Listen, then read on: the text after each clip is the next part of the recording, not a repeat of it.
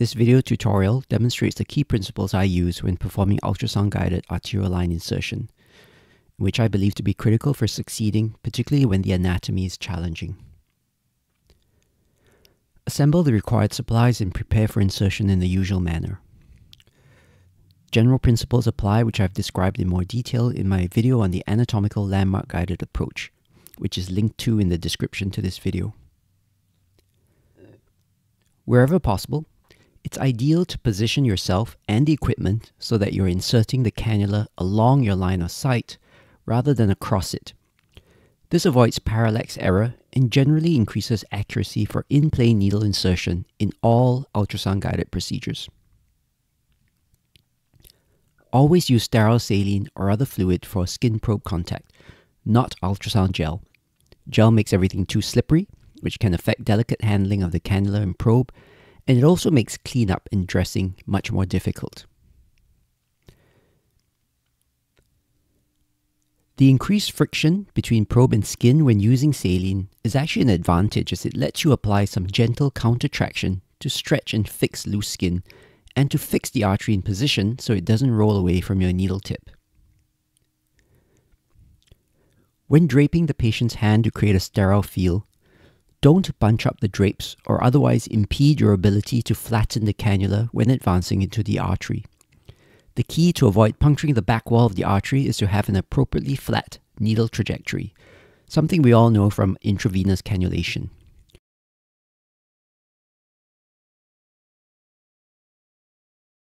Note here how flat the cannula has to be, in many cases often lying right against the patient's skin, and observe what this corresponds to in terms of the needle tip and cannula position in the artery.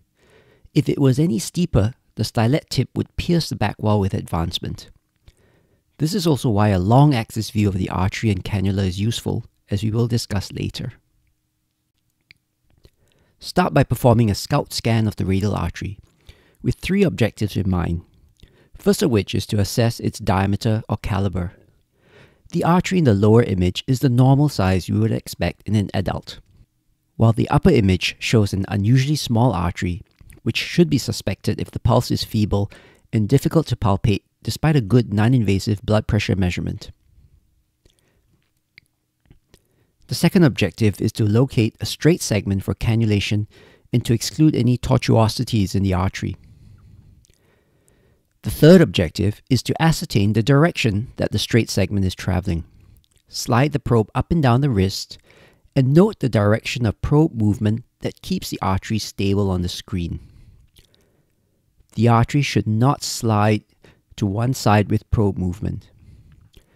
This allows us to choose our insertion point and to align our trajectory of insertion appropriately. In the transverse short axis view, an artery that bobs from side to side when sliding proximally and distally indicates that there is a tortuosity in the artery.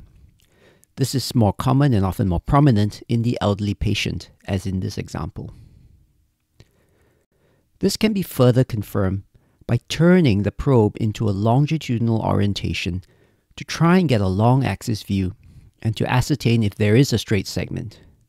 In this particular example, the kinks in the artery from the tortuosity are obvious.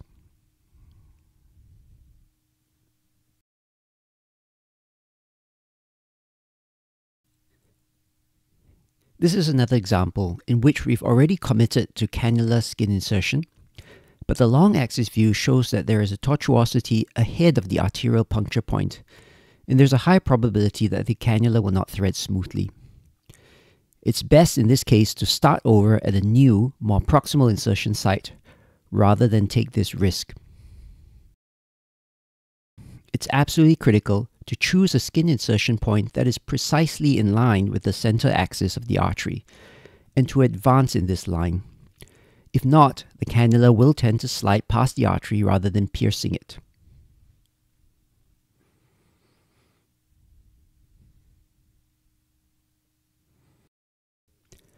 Trying to correct for inaccurate skin insertion by swinging or steering the cannula towards the artery as you advance risks piercing the artery at a tangent to its axis, which can then cause difficulty in threading the cannula after you've pierced it. This is particularly true for small or arteriosclerotic arteries. There are a few ways to help ensure accurate skin insertion. First, you can align the artery in the center of the screen using the M-mode marker or dedicated centerline marker available on some machines. And then line up your skin insertion point with the midline marker on the probe. There are, however, more precise methods to determine the optimal skin insertion site. If inserting an arterial line in awake patients, I recommend verifying the skin insertion point by using the local anesthetic infiltration needle as a finder. Insert it at a shallow angle into the subcutaneous tissues and slide the probe over it to visualize the needle tip. Tissue motion and local anesthetic spread as you anesthetize the skin insertion site will also show you where the needle tip is.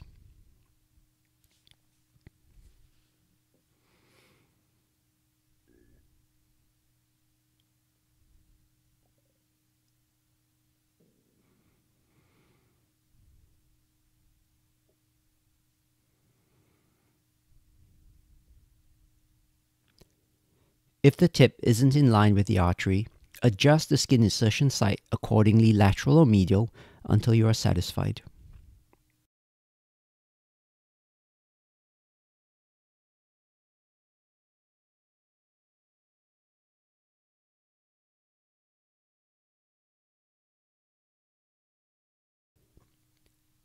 If not using local anesthetic infiltration, you can also verify alignment by pressing the tip of the cannula into the skin without actually piercing it.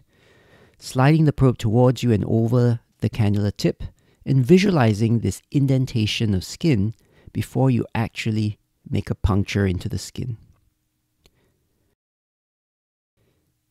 If this indentation, and thus the cannula tip, isn't perfectly in line with the artery, adjust the skin insertion site appropriately in a lateral medial direction until you're satisfied.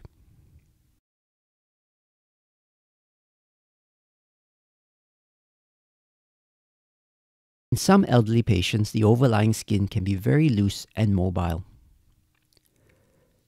Gentle traction to fix the skin in place can be applied using the probe and the heel and fingers of the cannulating hand. This is where the friction of saline versus gel is an advantage. Insert the cannula at the chosen insertion point using a trajectory that is not too steep. A 30 to 45 degree angle can be used to pierce the skin more cleanly but thereafter, this should be flattened to something closer to 20 or 30 degrees. The exact angle will depend on the depth of the artery. The shallower the depth, the flatter the trajectory should be, and vice versa. The principle is to have a trajectory that will avoid puncturing the back wall and allow the cannula to thread smoothly into the artery. Once the skin has been pierced, slide the probe towards the cannula tip to locate it. Unfortunately, the tip of the stylet is not always brightly echogenic within soft tissues, so use other cues of needle tip localization.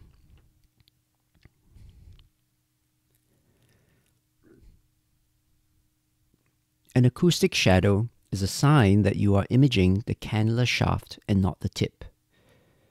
In this case, carefully slide the probe away from yourself until the shadow disappears to locate the tip.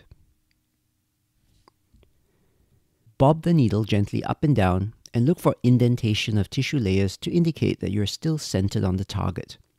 Aim to advance smoothly and deliberately through each of the overlying tissue layers, feeling for the tactile sense of popping through each one to augment what you see on the ultrasound screen.